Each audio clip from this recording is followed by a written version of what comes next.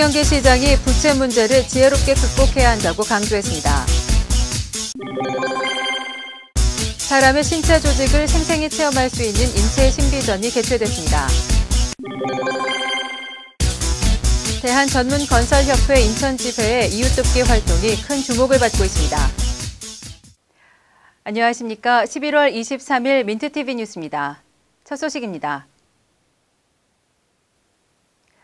현재 인천시의 부채 규모가 높은 수준이라는 것은 여러 언론을 통해 잘 알려져 있는데요.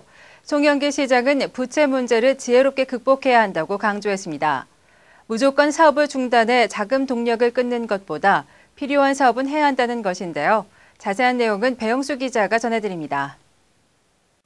송영길 시장은 인천시의 부채에 대해 무조건 안 쓰고 사업을 무리하게 중단하는 것은 능사가 아니라는 것을 분명히 했습니다. 송 시장은 최근 기자 등 언론인들과 가졌던 좌담회에서 시의 부채 문제 해결 방법에 대해 무조건적인 사업 중단은 오히려 더블딥과 비슷한 현상을 초래할 수 있다고 밝혔습니다. 전 시장 때부터 시작해 현재도 진행 중인 사업들이 있는데 무리하게 사업을 줄여 업체 간 이해관계가 엇갈리고 자금 순환이 막히면 그것이야말로 경제가 더 어려워지는 일종의 지름길일 수 있다는 것입니다. 그래서 얼만큼 이것을 어, 환금 가능한 형태의 자산으로 좀그 부채 구조의 질을 좀 바꿔낼 것이냐. 빨리빨리 고정되는 게 아니라 변제하고 환금에 변제하고 또 변제된 걸 가지고 또 투자하고 그렇게 해서 부채 규모가 바로 줄어들지는 않더라도 그 부채의 내용을 어떻게 바꿔낼 것이냐 이게. 송 시장은 이어 최근 지식경제부가 경제자유구역 축소를 검토하는 것에 대해서도 이제 물꼬가 트이고 있는 것을 강제로 막아서는 안 된다고 밝혔습니다. 외국계 기업은 물론 최근 롯데 등 국내 기업들이 투자 유치의 뜻을 밝혀 이로 인한 실질적인 경제 활동을 기대할 수 있다는 것입니다. 한편 송 시장은 과거 경제 자유구역이 여러 재반적인 문제로 특별법 적용 시점이 늦어 이로 인한 발전의 속도가 더디긴 했지만 인천은 경쟁력 있는 입지를 갖춘 만큼 세계적인 경제 특구로 만들 수 있다는 점을 강조했습니다. 민트TV 뉴스 배영수입니다. 사람의 신체 조직을 생생하게 체험할 수 있는 전시회 인체 신비전이 인천에서 열렸습니다. 실제 인간의 몸을 표본화해 우리 몸에서 일어나는 일들을 관찰할 수 있는 교육의 현장을 이지은 기자가 보도합니다. 주먹만한 크기의 해골부터 축구공만한 크기의 해골까지 만지면 부서질 것 같은 이 표본들은 생후 6개월서부터 70세까지 실제 사람의 머리뼈입니다.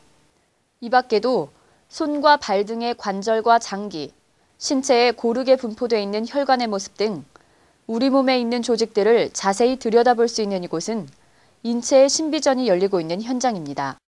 이번 전시회는 임신 중 태아의 모습에서부터 운동하는 선수의 근육 조직까지 우리 몸에서 일어나고 있는 일들을 생생히 전달해주고 있습니다.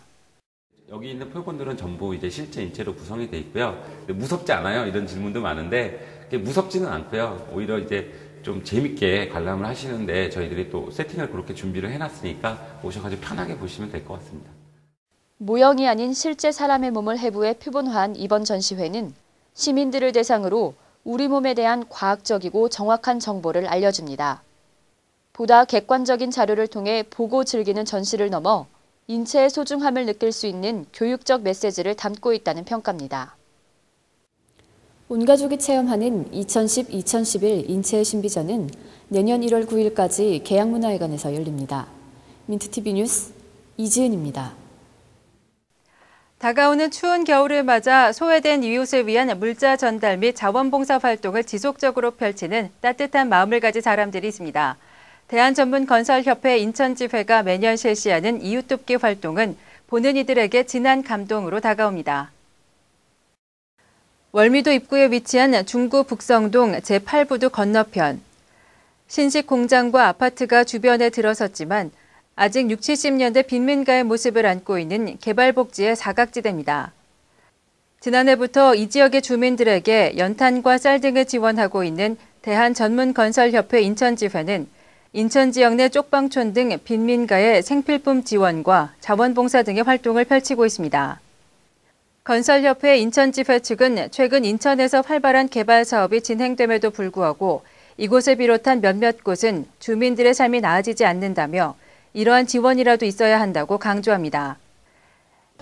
저소득층 독거 노인을 대상으로 사랑의 연탄 나르기는 우리 전 회원사가 모두 공감하는 바로 사회 봉사 활동 및 사회에 환원한다는 차원으로 매년 봉사하고 있습니다.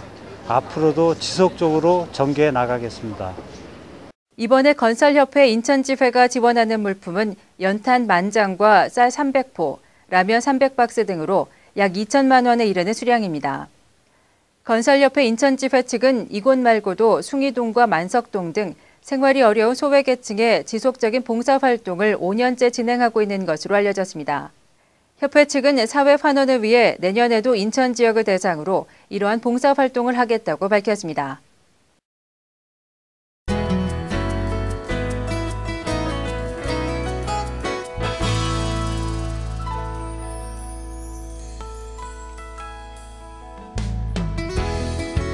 지난 10월 초 양해각서가 체결된 인천 경제자유구역의 에콰도르에 대한 경제개발 모델 수출과 관련해 라파엘 코레아 델가도 에콰도르 대통령이 적극적인 지원 의사를 밝혔습니다. 라파엘 대통령은 한국의 경제와 과학기술에 큰 감명을 받았으며 이러한 한국의 경험이 에콰도르에 전수되길 기대한다고 밝혔습니다. 인천종합문화예술회관은 수능을 마친 고3 수험생을 위한 공연과 할인 혜택을 마련했습니다.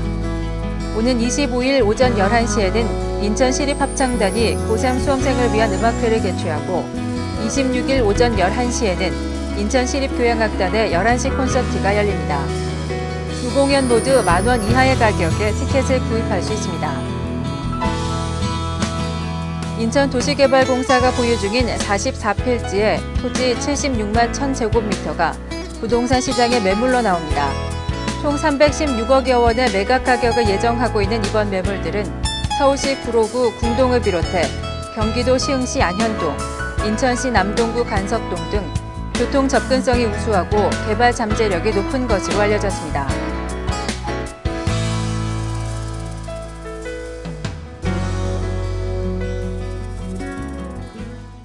이상으로 11월 23일 민트TV 뉴스를 마치겠습니다. 시청해주신 여러분 고맙습니다.